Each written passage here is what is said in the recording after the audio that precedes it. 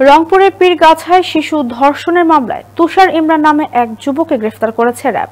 রংপুর প্রতিনিধি রবিউল ইসলাম জানান, গাইবান্ধার পূর্বপাড়ার একটি ভাড়া বাসা থেকে তাকে আটক করা হয়। বুধবার দুপুরে প্রেস বিজ্ঞপ্তিতে এ তথ্য জানিয়েছেন র্যাব তেরো এর অধিনায়ক রেজা আহমেদ ফেরদৌস। তুষার ইমরান উপজেলার ইটাকুমারী ইউনিয়নের নরসিংহ গ্রামের আব্দুল জলিল মিয়ার ছেলে।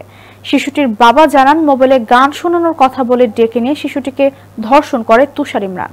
বর্তমানে আহত শিশুটি রংপুর মেডিকেল কলেজ হাসপাতালে ওয়ান স্টপ ক্রাইসিস সেন্টারে চিকিৎসাধীন রয়েছে। এই ঘটনায় তুষারের বিরুদ্ধে থানায় মামলা করেছে ভুক্তভোগী শিশুটির বাবা। রংপুর জেলার পীরগাছা থানাধীন নরসিংহ বাগবাড়ি গ্রামস্থ ছয় বছরের শিশু কন্যাকে মোবাইলে গান শোনানোর প্রলোভন দেখিয়ে আসামি তার নিজ বাড়িতে ডেকে নিয়ে যায়। নাম হচ্ছে মোহাম্মদ তুষার ইমরান। ভিকটিমের বাবা গত আটই আগস্ট দুই হাজার একুশ তারিখে রংপুর জেলার পীরগাছা থানায় একটি এজাহার দায়ের করে।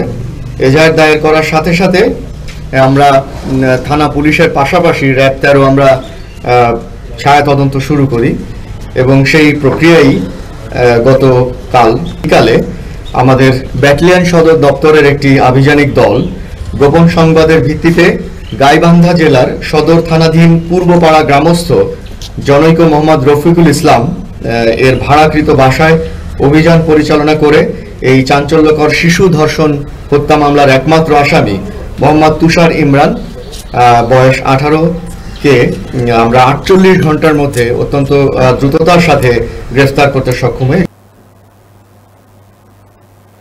নরসিংদের রায়পুর উপজেলা স্বাস্থ্য কমপ্লেক্সে দশটি ফ্রি অক্সিজেন সিলিন্ডার সহ করোনা ভাইরাস সুরক্ষা সামগ্রী প্রদান করেছেন উপজেলা স্বাস্থ্য ও পরিবার পরিকল্পনা কর্মকর্তা ডাক্তার আবু সাইদ ফারুক। দুপুরে লাঞ্চ জেলা তিনশো পনেরো এর পক্ষ থেকে এই সকল সুরক্ষা সামগ্রী তুলে দেওয়া হয়। রায়পুরা প্রতিনিধি মেহেদি হাসান রিপন জানান, এ সময় উপস্থিত ছিলেন স্থানীয় সংসদ সদস্য ও সাবেক মন্ত্রী রাজিউদ্দিন আহমেদ রাজু, উপজেলা নির্বাহী অফিসার মোহাম্মদ আসগর হোসেন লান্স জেলা তিনশো পনেরো এর সাবেক governor Kalpana Raziuddin Lions club of রায়পুরের সভাপতি মোহাম্মদ আল আমিন ভুইয়া মাসুদ সহ আরও অনেকে।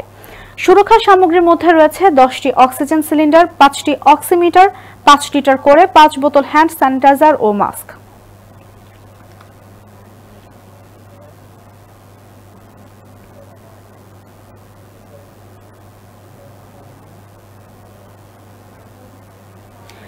কঠোর বিধিনিষেধ শেষে নারায়ণগঞ্জের জীবনযাত্রা স্বাভাবিক নিয়মে ফিরেছে। চালু হয়েছে গণপরিবহন।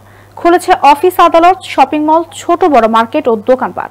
তবে ঢাকা নারায়ণগঞ্জ রুটে ট্রেন চালু না হওয়ায় যাত্রীদের মাঝে ক্ষোভের সৃষ্টি হয়েছে।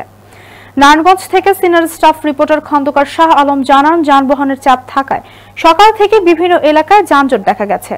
এছাড়া বাস কাউন্টারগুলোতে দেখা গেছে মানুষের ভিড়।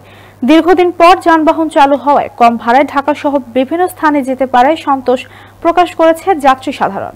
এদিকে পরিবহন শ্রমিকরা স্বাভাবিক নিয়মে গাড়ি চালাতে পারছেন বলে জানান বাসের কাউন্টার পরিচালকরা। গুলিস্তান গুলিস্তান যাব, আমরা এখন ভাড়াটা কম হওয়াতে আমরা এখন যাচ্ছি। লকডাউন ছাড়ছে, এখন যাইতেছি আর কি। আর আগে তো অনেক কষ্ট ছিল, আমরা যাইতে পারি নাই, এখন সমস্যা ছিল। ডাক্তারের কাছে আসা যাওয়া অনেক কষ্ট করি আমরা গেছি এই আর কি। এখন তো স্বাভাবিক হয়েছে এই জন্য আমরা যাইতেছি আর কি।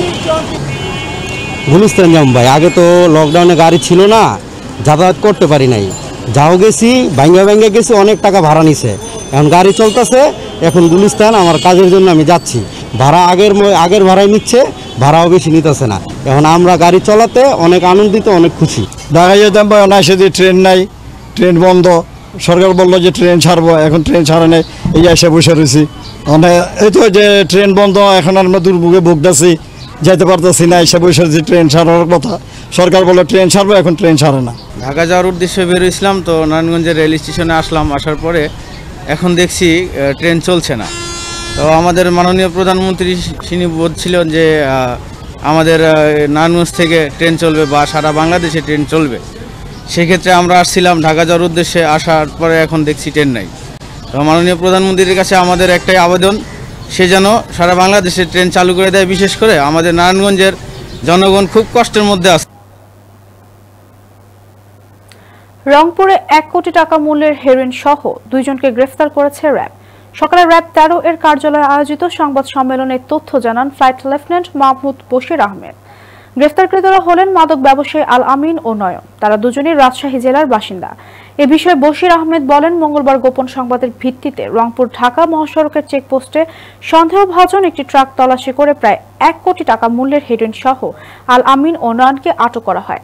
তাদের বিরুদ্ধে পলাশবাড়ি থানায় মাদক মামলা করা হয়েছে। তাদেরকে সংশ্লিষ্ট থানায় হস্তান্তরের কার্যক্রম প্রক্রিয়াধীন রয়েছে বলে জানান এ কর্মকর্তা। গাইবান্ধা ক্যাম্প সিপিসি থ্রি প্রায় এক কোটি টাকা মূল্যের তিন কেজি আটশো গ্রাম ওজনের হেরোইন জব্দ করেছে। গতকাল বিকালে আমাদের গাইবান্ধা সিপিসি থ্রি কোম্পানির একটি বিশেষ আভিযানিক দল গোপন সংবাদের ভিত্তিতে গাইবান্ধা জেলার পলাশবাড়ি থানাধীন বৈরি হরিণমারি এলাকায় মহাসড়কের উপর জরুরি চেকপোস্ট স্থাপন করে।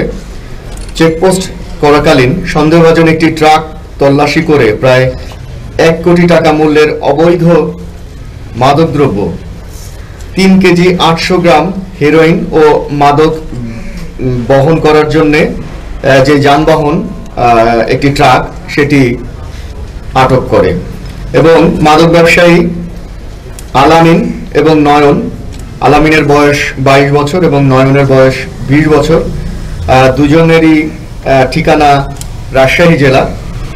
এদেরকে গ্রেফতার করে। আলোচিত বিশ্বজিৎ, হত্যা মামলার যাবজ্জীবন সাজাপ্রাপ্ত পলাতক আসামি ইমরান হোসেনকে আটক করেছে পুলিশ। মঙ্গলবার রাত সাড়ে দশটার দিকে উপজেলার চরবিষ্ণুপুর ইউনিয়নের চরচাঁদপুর এলাকা থেকে তাকে আটক করে সদরপুর থানা পুলিশ। সদরপুর প্রতিনিধি মোহাম্মদ সিরাজুল ইসলাম জানান, আসামি ইমরান হোসেন সদরপুর উপজেলার চরচাঁদপুর গ্রামে মীর আব্দুল জলিলের ছেলে। সদরপুর থানার অফিসার ইনচার্জ সুব্রত গোলদার জানান, গোপন সংবাদের ভিত্তিতে অভিযান চালিয়ে চরবিষ্ণুপুর এলাকা থেকে তাকে আটক করা হয়। সকালে ফরিদপুর সিনিয়র জুডিশিয়াল ম্যাজিস্ট্রেট আদালতে তাকে প্রেরণ করা হয়। আলোচিত বিশ্বজিৎ হত্যা মামলার যাবজ্জীবন সাজাপ্রাপ্ত আসামি ইমরান দীর্ঘদিন পলাতক ছিলেন।